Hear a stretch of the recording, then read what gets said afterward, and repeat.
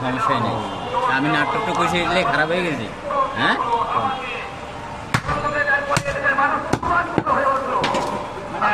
যোগ করছিলাম সেই যোগটুকু খারাপ হয়ে গেছে।